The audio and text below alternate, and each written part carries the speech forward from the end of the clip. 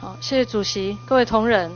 呃，本席也提出《文化资产保存法》第一百零一条的修正案。那它主要的精神是在于，呃，我们近年来非常担忧的一个现象，也就是文化资产它的主管机关啊，呃，看呃以不同的样态分属中央以及地方政府的自治范围的范畴当中。但是近年来呢，一些有一些呃已经或者是即将列为古迹。啊的一些文化资产却被地方政府以地方发展或者是活络经济为由啊，刻意的去啊做拆除啊或者是移除的动作啊。那我们近年非常痛心的，包括啊类似苗栗古窑哦的这个呃损毁。那对于呃地方文化资产的保护哦，其实对很多呃保呃对地方文化资产保护的公民来讲都是非常痛心的。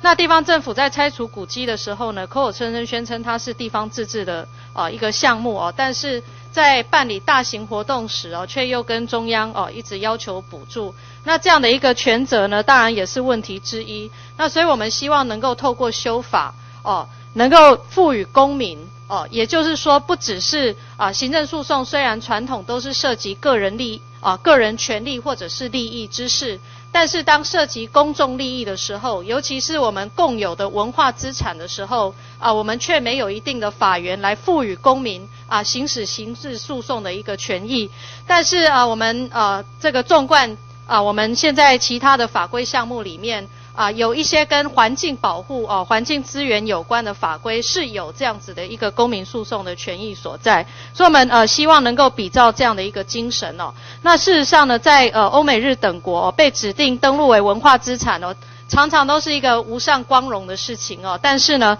在台湾哦，有时候呢，当然每一个地方政府它的态度哦不尽相同哦，有些啊也是啊。会共同的来跟公民一起进行保护啊，但是有一些啊却是啊做损毁拆除啊，以地方发展为由。那所以呃我们呃希望能够比照一些我们国内现在已经现行的文化相关啊，对不起，环境相关法规的精神哦，赋予。公民哦，也能够有针对公共利益，也就是说，我们将文化资产的保存也界定成啊，不只是个人的利益或权利，而也是公共利益的啊一个范畴内，而赋予公民啊一个行政诉讼的一个权利哦。那这以上呢是呃本席哦提出文化资产保存法第一百零一条修正草案的基本精神。以上说明，谢谢。